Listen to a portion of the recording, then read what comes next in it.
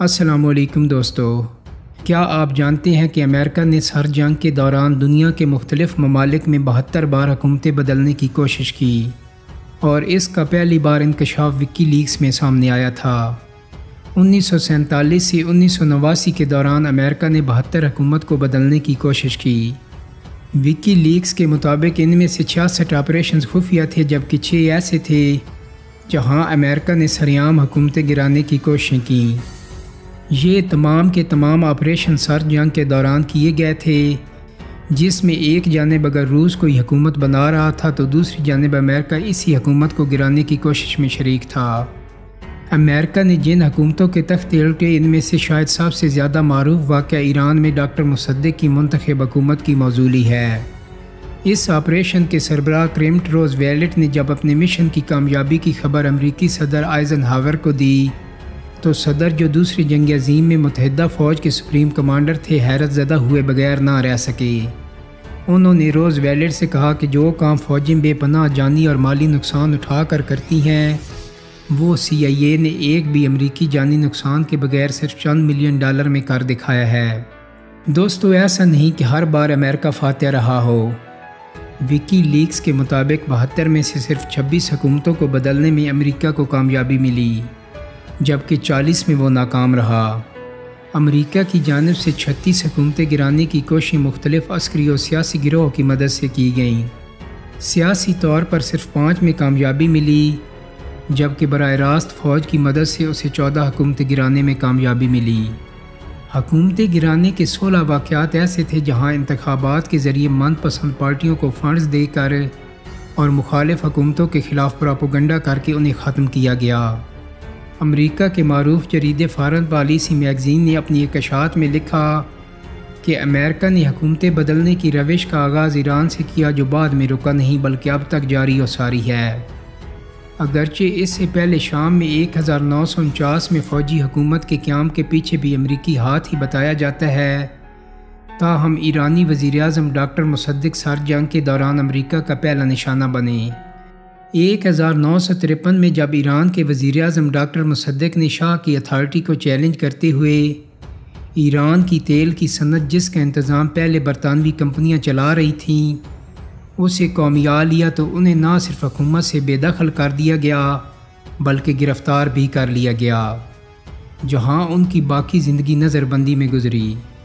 ये वो वक्त था जब सर्द जंग अरूज पर थी और अमेरिका, कोरिया में रूसी और चीनी फ़ौजों के साथ एक गैर एलानिया जंग में शरीक था। गोएटे माला एक हज़ार नौ सौ चौवन। अमेरिका इब्तदा में गोएटे माला के सदर जैके बारबंज की मदद कर रहा था। ताहम जब गोएटे माला के सदर ने ज़रिए असलाहत की तो अमरीकी कंपनियों के मफादात को ख़तरा लाक हो गया।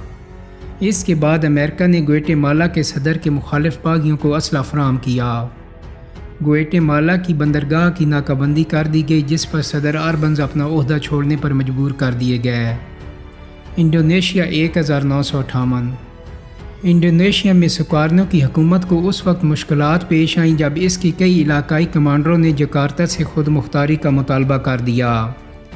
एक हज़ार नौ सौ अठावन में समाट्रा और सलावेसी ने सिकारनों के ख़िलाफ़ इतिहाद कायम कर लिया, जिसमें कई सियासी रहनमा भी शामिल हो गए।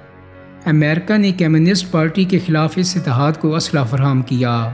सहकारनों के हामी और मुखालफी में जंग छिड़ गई। इस दौरान एक अमरीकी जहाज़ भी मार गिराया गया। सोकारनों ने एक हज़ार नौ सौ अठानवे तक बगावत को कुचल दिया, जिसके बाद सदर जॉन एफ़ कैंडी ने सुकारनों को वाशिंगटन बुलाया और इसे अरबों डॉलर की इमदाद दी। क्यूबा एक हज़ार नौ सौ उनसठ। अमरीकी सदर एजन हावर और कैंडी ने क्यूबा के सदर फेडरल कास्ट्रो के मुखालिफ रहनुमाओं को असला और माली मदद फ्राहम की, ताकि वो कास्ट्रो की आमरीत के ख़िलाफ़ जदोजहद कर सकें। सी आई ए ने फेडरल कास्ट्रो को मारने के लिए कई बार कोशिशें की, मगर इसे हर बार नाकामी हुई। कांगो एक हज़ार नौ सौ साठ। कांगो की आज़ादी के बाद जब वहाँ के वज़ी अजम पेट्रस मलोम्बा की जानब से बेल्जियम के मुआशी मफादात को ख़तरा लाक हुआ तो कांगो के सदर ने वज़ी अजम को अहदे से हटा दिया, जिस पर बरतरफ वज़ी अजम ने रूस की तरफ़ रजू करके फ़ौजी मदद हासिल करने की कोशिश की तो उन्हें सी आई ए ने निशाना बनाया।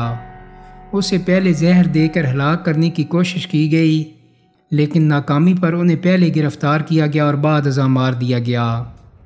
इराक उन्नीस सौ साठ तिरसठ। इराकी वज़ी अजम अब्दुल करीम कासिम ने दो साल पहले मगरबी हमायत याफ्ता इराकी आमिर फैसल दोम को निकाल कर बाहर किया था। उनकी हुकूमत में कम्युनिस्ट पार्टी का असर रसूख बढ़ रहा था और वो कुवैत पर हमले करने की धमकियाँ भी दे रहे थे, जिस पर इराक और बरतानिया के दरमियान जंग की सूरत हाल पैदा हो गई थी। अमरीका ने कासिम को कत्ल करने की कोशिश की जो नाकाम हो गई। कासिम की काबीना के सोलह मम्बरान में से बारह बैस पार्टी के अरकान थे। जब कासिम ने जमाल अब्दुल नासिर की जानब से मुतहदा अरब रिपब्लिक कायम करने की तजवीज़ की हमायत नहीं की तो वो इसके ख़िलाफ़ हो गए और आठ फरवरी उन्नीस सौ तिरसठ को कासिम की बास पार्टी के स्क्वाड ने फायरिंग करके कत्ल कर दिया। अमरीका ने नई हुकूमत के साथ इतिहाद बना लिया, मगर जल्द ही अहमद हसन अल बकर ने अमरीकी हमायत याफ्ता सदर अब्दुलसलाम को निकाल बाहर किया। डोमिनिकन रिपब्लिक एक हज़ार नौ सौ इकसठ। राफेल तराजेलों की अमरीत के दौरान डोमिनिकन रिपब्लिक में मिट्टी के हज़ारों बाशिंदों को नस्ल परस्ताना फसादात के दौरान मार दिया गया और वेंजवीला के सदर को भी हलाक करने की कोशिश की गई, जिस पर उसे सियासी मुखालफी की जानब से कत्ल कर दिया गया। अगरचे इसके कातिल ने बयान दिया कि उसने ये कत्ल किसी के कहने पर नहीं किया। मगर बाद अजा मालूम हुआ कि उसे तीन पिस्तौल और गोलियाँ अमेरिका की जानब से फ्राहम की गई थीं। जनूबी वियतनाम एक हज़ार नौ सौ तिरसठ। अमरीका जनूबी वियतनाम में काफ़ी असर रसूख हासिल कर चुका था कि वहाँ के सदर नागोदिन ने बुद्ध मत से ताल्लुक़ रखने वाले मुखालफी पर अरसा हयात तंग करना शुरू कर दिया, जिस पर अमेरिका और उसके दरमियान तनाव पैदा हो गया। पेंटागान पेपर्स के मुताबिक तेईस अगस्त एक हज़ार नौ सौ तिरसठ को जनूबी वियतनाम के कुछ जर्नैलों ने एक प्लान अमरीकी हुकाम के सामने रखा, जिसके बाद जर्नैलों ने इसी साल यकम नवंबर को सदर को हलाक कर दिया और इसके लिए सी आई ए फंड से चालीस हज़ार डॉलर की अदायगी की गई। ब्राज़ील एक हज़ार नौ सौ चौंसठ। अमरीका के ब्राज़ील में सफ़ीर लिंकन गोल्डन ने लिखा कि ब्राज़ीली सदर जाओ गोलाट ब्राज़ील को चीन की तर्ज पर आगे लेकर जा रही हैं, जिस पर अमेरिका ने ब्राज़ील की फ़ौज के सरबराह कैस्टिलो ब्रैंको के ज़रिए एक हज़ार नौ सौ चौंसठ में ब्राज़ील के सदर का तख्त उलट दिया। इस दौरान सी आई ए ने सदर के ख़िलाफ़ मुजाहरीन को पैसा और असला दिया।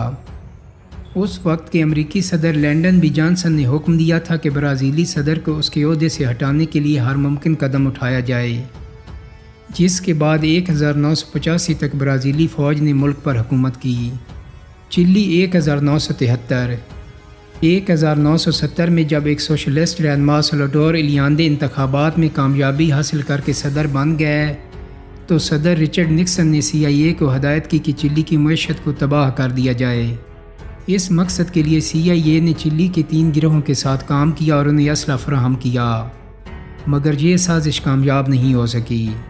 इसके बाद जनरल अगस्त पनोशे के ज़रिए सदर के ख़िलाफ़ एक हज़ार नौ सौ तिहत्तर में बगावत करवाई गई, जिसने अपने मुखालफी को चुन चुन कर कत्ल किया, मगर सी आई ए ने नई हुकूमत की मदद जारी रखी। अफ़गानिस्तान एक हज़ार नौ सौ था नवासी।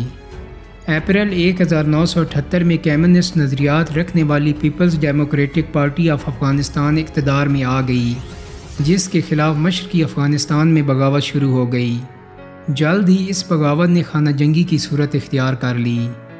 रूस ने हुकूमत की मदद के लिए अपनी फ़ौजें भेज दी। दूसरी जानब अमेरिका ने पाकिस्तानियों में बागियों की मदद के लिए तरबियती कैंप कायम कर लिए। सितंबर एक हज़ार नौ सौ उनासी में सदर नूर मोहम्मद तरकई को हाफिज़ुल के लोगों ने कत्ल कर दिया। बाद में हाफिज़ अमीन को रूसी फ़ौज ने कत्ल कर दिया। आने वाले सालों में अफ़गानिस्तान, अमेरिका और रूस के दरमियान मैदान जंग बन गया। अमेरिका ने पाकिस्तान के ज़रिए अफ़गान मुजाहिदीन को अरबों डॉलर दिए, जिसकी वजह से सुर्ख फ़ौज को अफ़गानिस्तान में बदतरीन शिकस्त का सामना करना पड़ा। तुर्की एक हज़ार नौ सौ अस्सी। तुर्की में बारह सितंबर अस्सी की फ़ौजी बगावत से एक रोज़ पहले तीन हज़ार अमरीकी फ़ौजी तुर्की पहुँचे। एक हज़ार नौ सौ इक्यासी के अख्ताम पर अमेरिकन टर्किश डिफेंस कौंसल का क्याम अमल में आ चुका था। तुर्की में कामयाब फौजी बगावत के बारे में अंकरा में सी आई ए के स्टेशन चीफ पाल हैंजे ने तस्लीम किया कि तुर्की की हुकूमत का तख्ता उलटने का कारनामा हमारे लोगों ने सर अंजाम दिया है। पोलैंड एक हज़ार नौ सौ अस्सी इक्यासी जब पोलैंड में रूसी अफवाज हरकत में आई तो अमेरिका ने पोलैंड के साथ इजहार यकजहती किया और अवामी रबता मुहिम चलाई और रूसी मुदाखलत के ख़िलाफ़ हुकूमत की मदद की।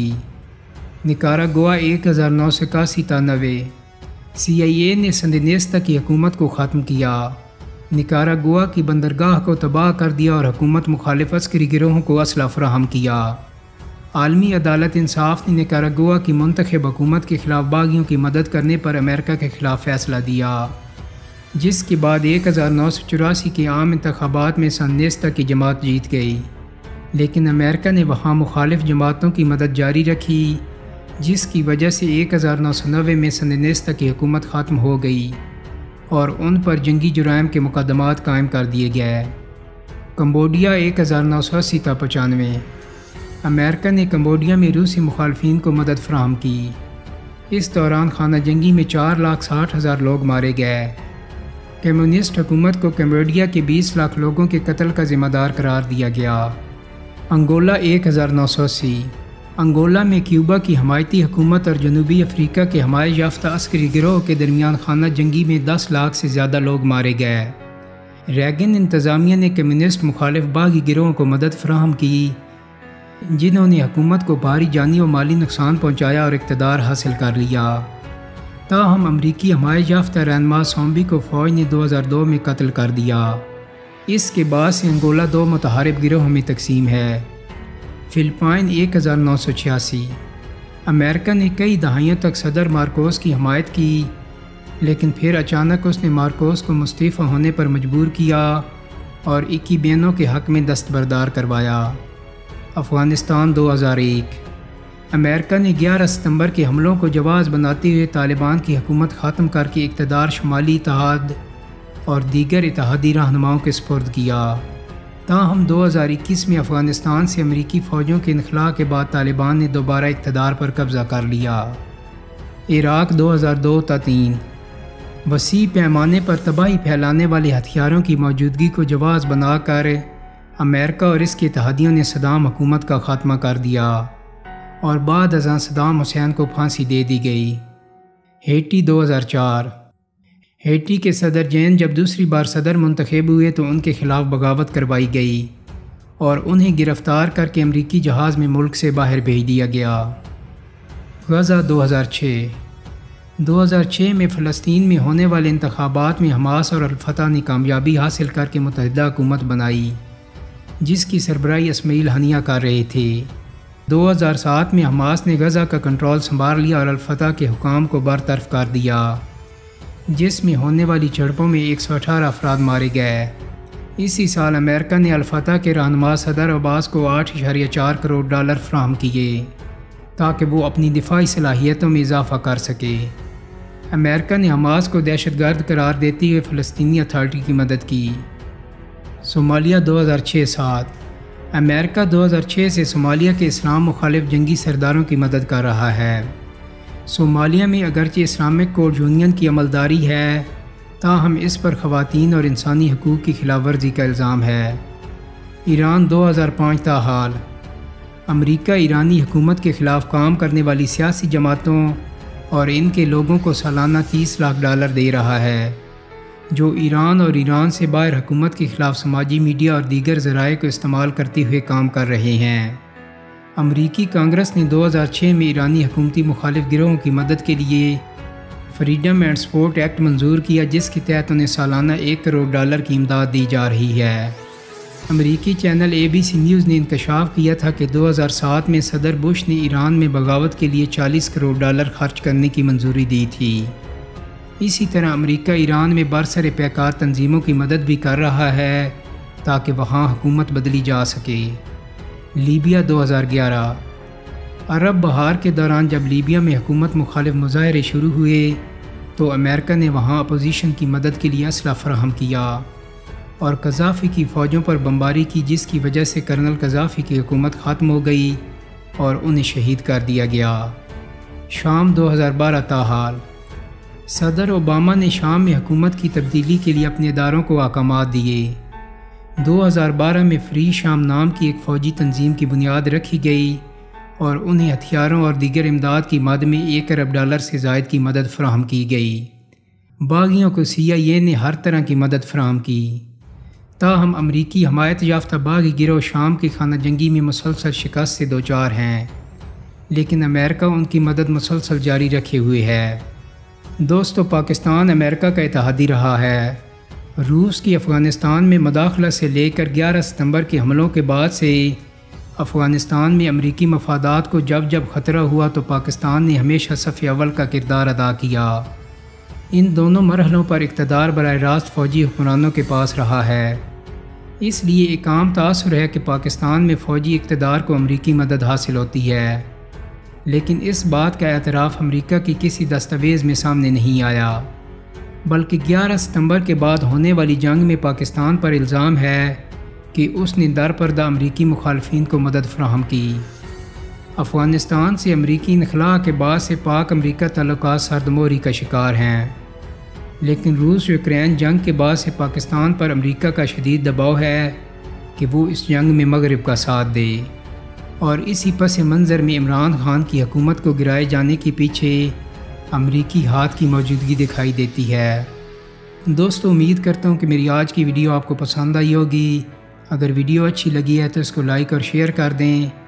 मेरे चैनल को सब्सक्राइब करने के साथ साथ बेल आइकान को भी क्लिक कर दें, ताकि आपको मेरी आने वाली मज़ीद वीडियोज़ के नोटिफिकेशन मिलते रहें। बहुत जल्द ही एक नई वीडियो के साथ मुलाकात होगी। अपना बहुत सारा ख्याल रखिएगा। अल्लाह हाफिज़।